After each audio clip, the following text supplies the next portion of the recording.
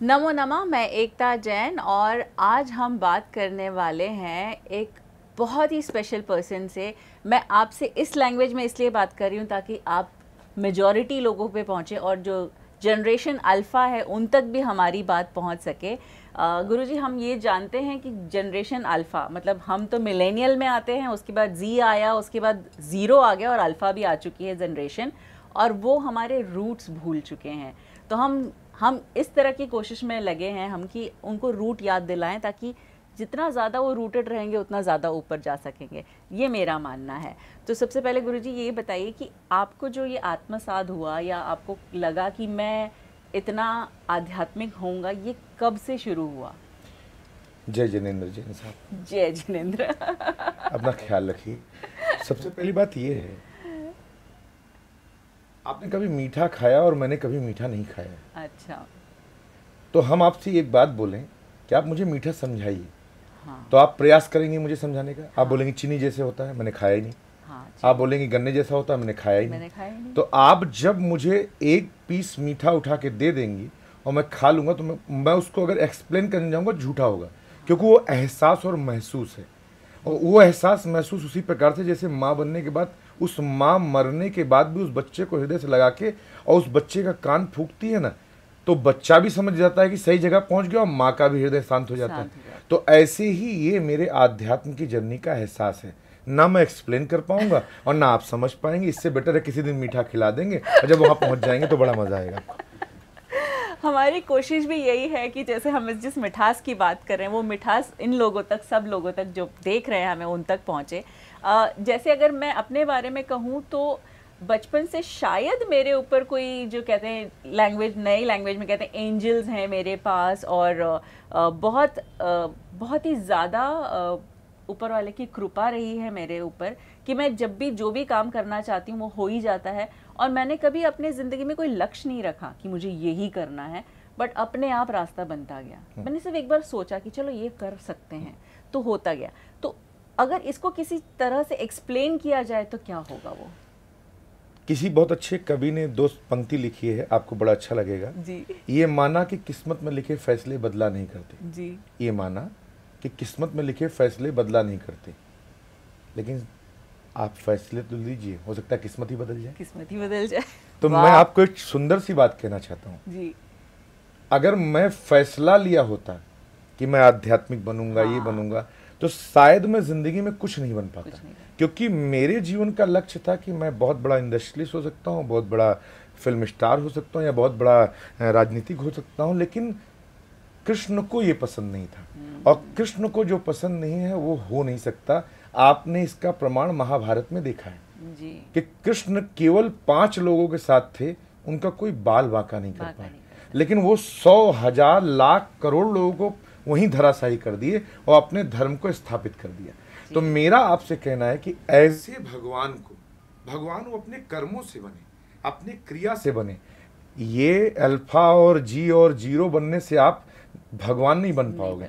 लेकिन अगर आप संस्कार और सनातन को लेके चलोगे तो हो सकता है एक दिन भगवान के दास आप भी बन के और मीरा रैदास रहीम कबीर की तरह एक पूर्ण जगह पे बैठ जाएँ अहिल्याबाई होलकर की तरह आपकी प्रतिमा काशी विश्वनाथ में स्थापित हो और आप प्रधानमंत्री के मुख में इस तरह हो कि इंदौर पहुँचने के बाद पहले अहिल्याबाई होलकर का नाम लिया जाए। और अहिल्याबाई होलकर रानी थी हम्म, महारानी थी। महारानी। वो चाहती तो मस भी अल्फ़ा बीटा गामा कुछ भी बनती और सबको मानना पड़ता। लेकिन उन्होंने एक शिव को रखा अपने पास और कहा शिव का आदेश है और मैं शिव के आदेश से चलती हूँ। वहीं पे झांसी की रानी वहीं पे पद्मावती जिन्होंने जौहर किया तो ऐसे संस्कार वान देन में जहाँ अनसुईया अत्री सावित्री ऐसे संस्कारवान देश में हम ये बात करें कि अल्फ़ा गामा वाले पैदा हो गए। हाँ। तो माफ़ करना ये उनका भ्रम है। हाँ। लौट के बुद्धू घर को आए। घर को आए। तो सारी नदियाँ जैसे समुद्र में आके मिलती हैं वैसे एक दिन उनको आना पड़ेगा। और आप इस बात को जान नहीं है।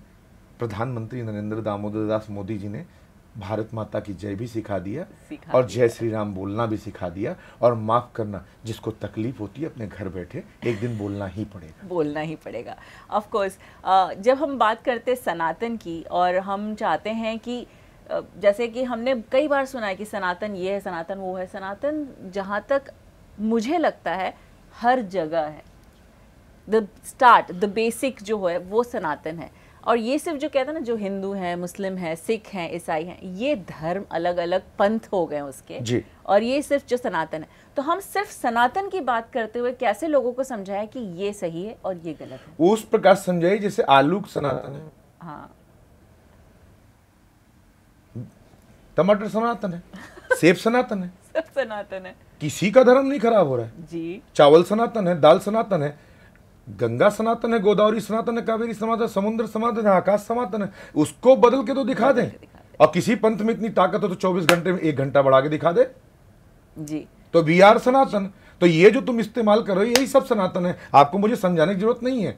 तुम माँ माँ को मोम कहने में हो सकता है तुम सनातन भटक जाओ लेकिन माँ माँ ही है। माँ तो माँ ही है। तो इसी प्रकार से सनातन की पद्धति है। तो इसलिए डोंट वेरी बी हैप्पी बहुत ही क्लियर है बहुत ही आनंद है। तो हम ये हमारे दर्शकों को बताइए कि भागवत क्या है? जैसे आप जैन साहब मेरे पास आई तो आपने अपना पूरा नाम लिया और जैन कह के संबोधन किया। जी। लेकिन मैं अगर मुस्कुरा के बोलूँगा तो 24 अवतारों में जो एक अवतार है वो ऋषभ देव जी जो है प्रथम तीर्थंकर है। आपके ठीक है? तो अब आप मुझसे ये बोलेंगे सनातन कैसे है? यही सनातन है कि आप मेरे ही पुंज से जुड़ी हैं जैसे भगवान नारायण से ब्रह्मा ब्रह्मा से बसित वशिष्ठ से शक्ति शक्ति से पराशर पराशर से भगवान व्यास भगवान व्यास से सुखदेव भगवान व्यास से कौरव पांडव विद्युत हम आगे महाभारत तक। लेकिन किसी और पंथ वाले से बोलिए महाराज कहाँ से शुरू हुए कहाँ खत्म हुए? उनका कोई बेस ही नहीं हो कहीं ऊपर उड़ रहे हैं कि हवाओं में आए हवाओं में चले गए। तो इसका एक छोटा सा एग्ज़ाम्पल देता हूँ। हाथ ने पैर से कहा। हाँ? हाथ ने हाथ ने हाँ। पैर से कहा। हाँ। हाथ ने पैर से कहा। उसमें गड़बड़ था तो आप दो बार देखने लगे।